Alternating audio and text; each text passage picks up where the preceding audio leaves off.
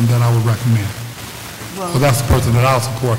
Now, you know, you guys can support whoever you want, but I'm going to go with what uh, that council person um, asked um, to, you know, be his replacement. That's who I'm going to vote for. Now, you guys can vote for whoever you want, but I do want to make the motion that we um, send a resolution to Mike Brown to allow us to consider, or for him to reconsider um, his decision and allow us to vote on a person for the Eighth Ward, whoever it may be, whoever you guys might like, but my personal choice would be the person that he recommended.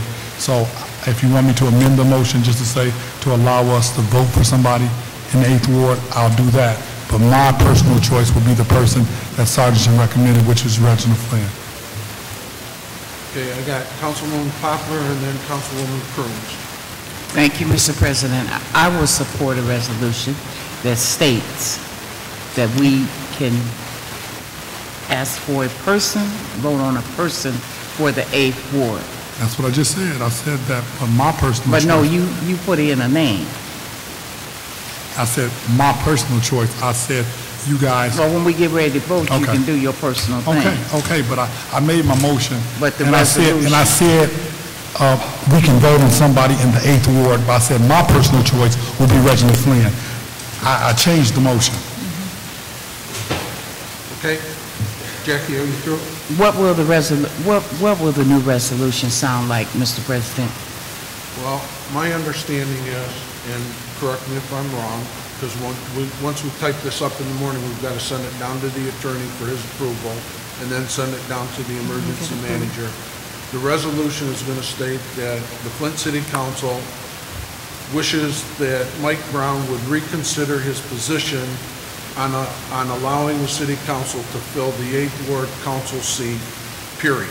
That's it. That's it. And I said, and my, my personal choice would be And the beyond person. that- Yeah, Now, now, now my position is that typically when we do these, we advertise, we, um, allow people to submit, uh, letters of interest, And that's fine. and, and then we normally go through, um, a vetting process where council members can select two or three or four people that they want to interview, and then we make that choice, so.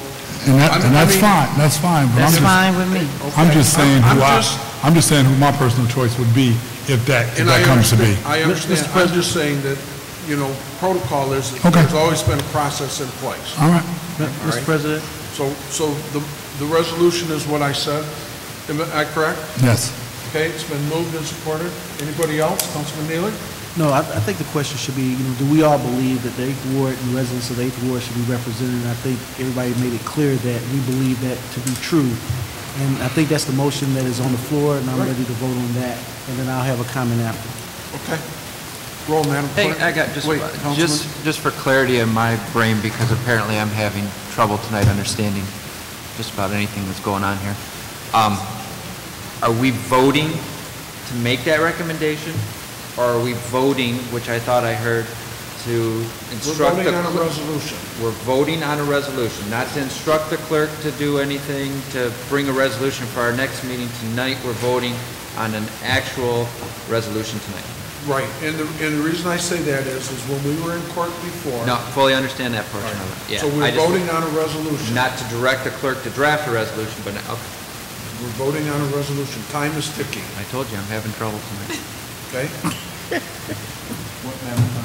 If I could play the devil's advocate with you all for a second, a resolution, if we draft a resolution tomorrow, will take some time to go through the attorney's office, with all due respect to the attorney's office, okay?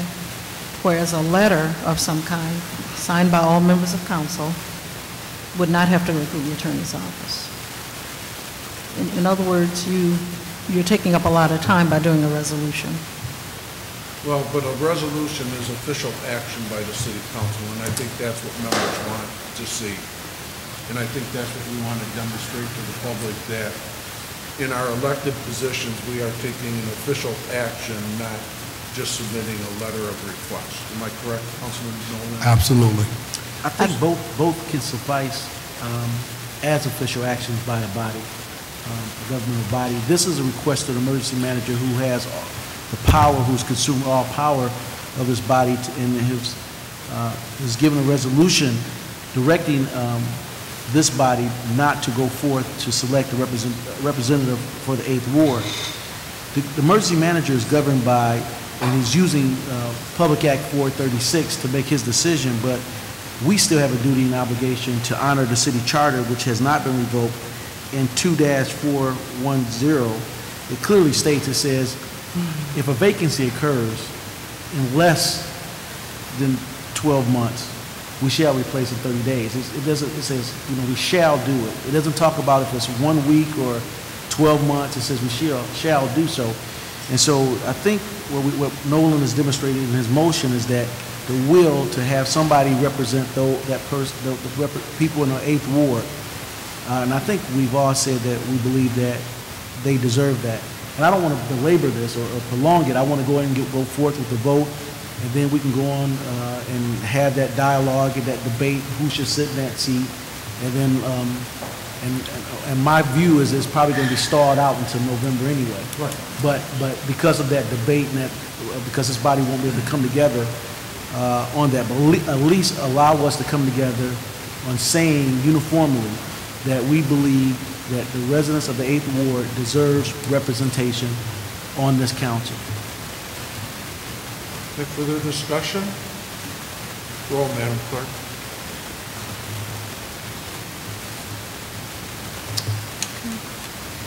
Mr. Freeman, Yes? Mr. Neeley, Yes. Mr. Kincaid, Yes. Ms. Croom, Yes, and thank you for explaining it to me where I can understand. Ms. Poplar, Yes. Mr. Nolden. Yes. Okay. Anyone else? Councilman Neeley? Yes, I- I'm I'm not going to belabor it and continue to talk about what's going to be debated um, in this chamber for some time, and I- and I- and and I hope the level of hypocrisy doesn't come to play as we try to get a repres- a representative for the residents of the Eighth Ward, but I do want to talk about a very, very serious issue, a systemic problem in our community. And I'm just going to lay out a small story about what has happened in the last two years as it relates to some recent crime that we- we've seen. A couple years ago, a 16-year-old young man broke into an elderly woman's home, and she was a maybe 89 or 90 years old. Fortunately, the police did arrive upon finding that uh, this person was in distress. The 16-year-old boy then vacated the residence, and police pursued. The the 16-year-old young man shot at the police several times. The police returned fire, hitting and striking the young man at the age of 16. The person was incarcerated in juvenile detention for probably less than about 12 months. Recently, that person, well, moving fast forward, that person now is 18 years old. That person now is in jail as a person of interest and is, is uh, going through an investigation for the last four murders out of those uh, last few weeks. One of those murders was a, a nine-year-old young boy and a person at the grocery store. But we have to really challenge the system as a community that the, when a person shoots at a police officer after breaking into an elderly person's house, and they only have to spend less or a year in jail, we really have to challenge the system when they release those type of individuals back into the population. If they shoot at a police officer, trust me, they don't care about you and I. And that, that allegedly or could possibly be proven here in the near future if that person is tried and convicted for the la, four murders of, of innocent people inside the city of Flint. So we have a systemic problem here. It's just not about putting a person in the eighth ward seat or having debate or dialogues about these ordinances, and these things are all important. But we have to do something in our community and speak to these injustices. When a person can fire up on a police officer with the intent, I don't think they were trying to just scare the police officer, I think it was with the intent, probably to harm the police officer. They broke into the person's home with the intent to steal or do more. And if our system can only put them in, or incarcerate them and take them out of circulation for less than a year, we have a real problem. And so as we talk and go forth, and, and I think the last meeting, I asked the emergency manager and the police officials to come forth and deliver a public safety plan to the community. They had a press conference, which they locked, uh, Vice President, Councilman Nolden, am I correct? They did not allow you to participate in the press conference? No, when I came, I wasn't allowed to go. So, so it was a closed door, and they didn't allow a representative, elected representative, uh, uh, and also a elected leader of this body to even participate. The police chief did not have much to say in that dialogue as they addressed it. It was the emergency manager. They did not put forth a plan to the community. They said, crime is better, and we'll get back to you. I've, I received several phone calls over the past few days about breaking and enterings in my area. Violent crime, burglaries, robberies, and homicide continues to grow in our community. We need to have a public safety plan, and we need to have them before us, and they need to present the plan so we can figure out where we fit in as a community, clergy, residents, elected officials, everybody to make sure these heinous crimes cannot continue. So I encourage every one of you, because just like us, uh, you have a voice as well.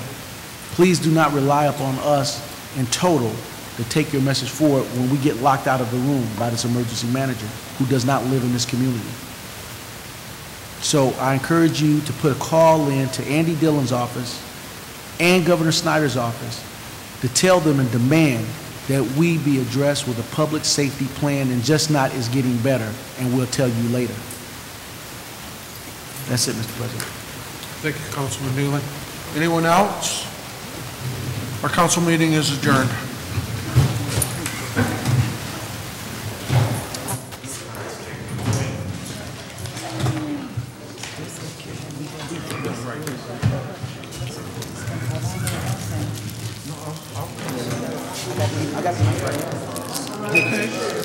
That's